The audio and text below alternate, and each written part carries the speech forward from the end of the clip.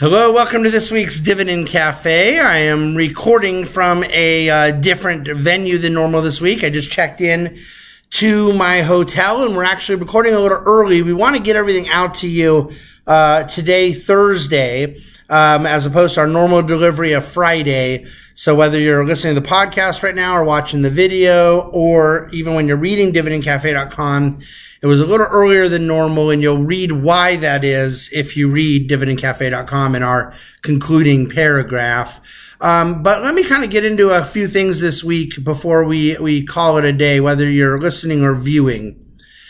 The big news for me this week is the announcement of Larry Kudlow to be the director of the National Economic Council. It's the highest ranking position um, as an advisor to the president on matters of economic policy.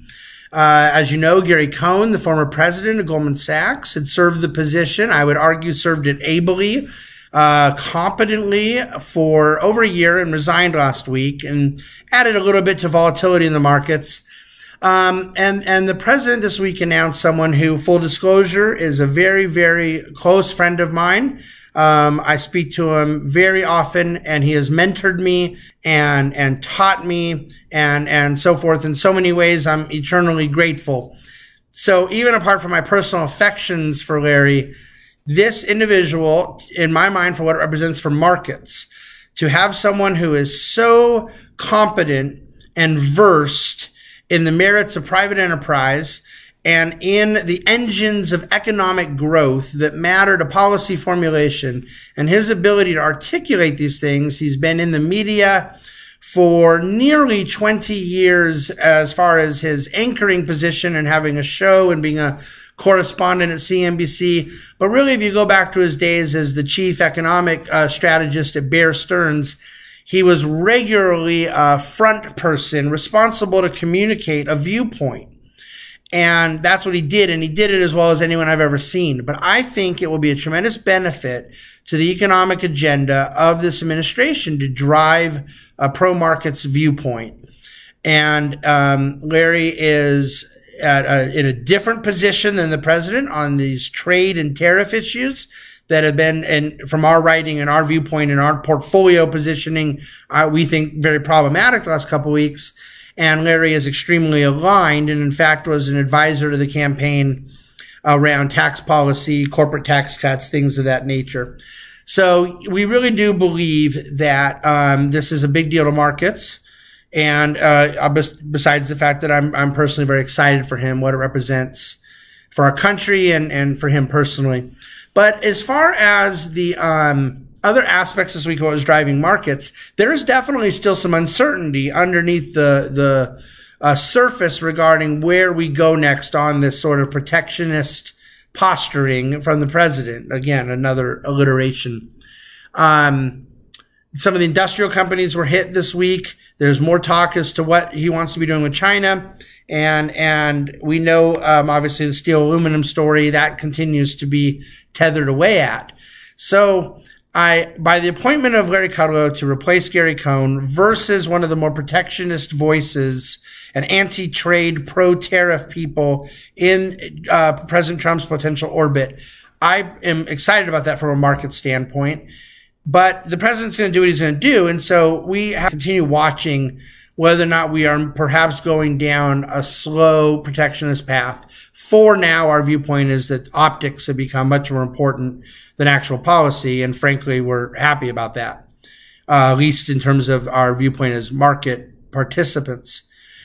Okay, in terms of the other things, when we, you know, we're waiting for the first quarter to finish, we want to see what earnings growth ends up looking like. So the middle of April can't come soon enough for us earnings watchers.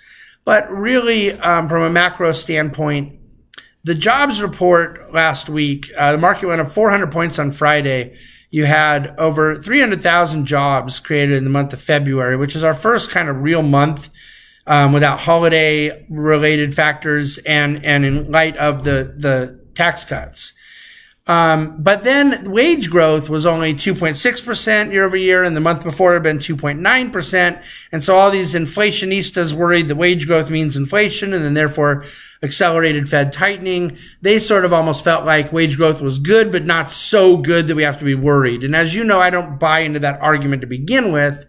But the point was the market got that kind of sweet spot they wanted of, of really robust jobs numbers and not inflationary fears around the wage number. So yeah, those forces on a macroeconomic standpoint still looking good, and you have an earnings environment that we expect will continue to look very solid. We really don't believe there's going to be any surprises to the downside out of corporate tax reform.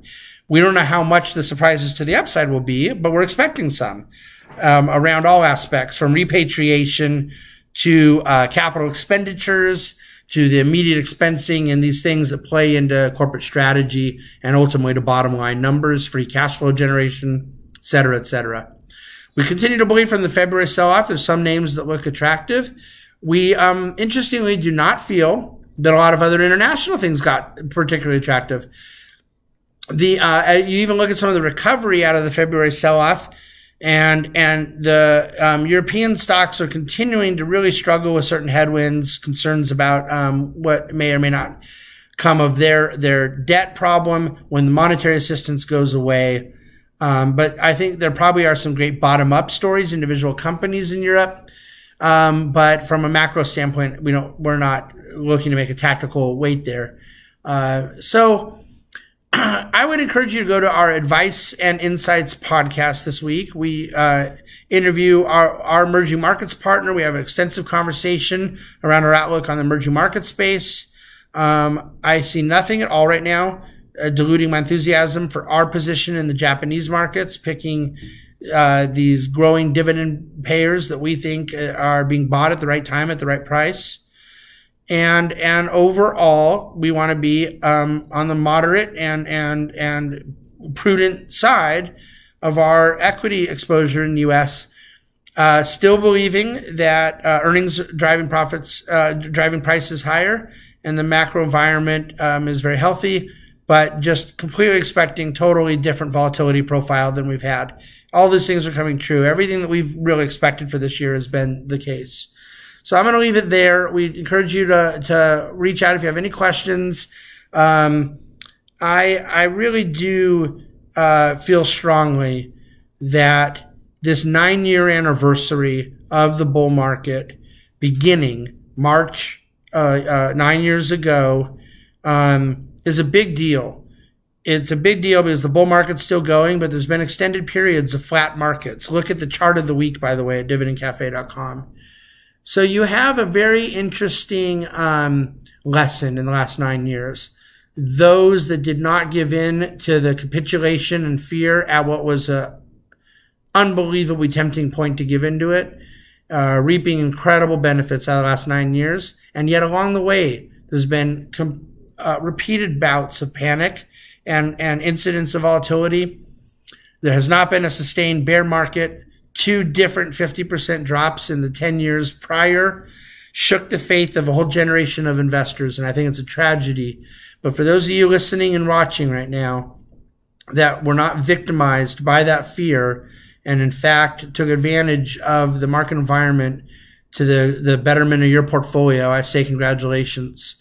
A lot of behavioral lessons in this nine year anniversary. Um, anyways, I got to leave it there. Congratulations to Mr. Kudlow and all of you. Uh, have a wonderful March Madness weekend. Get your brackets ready. Enjoy some college basketball.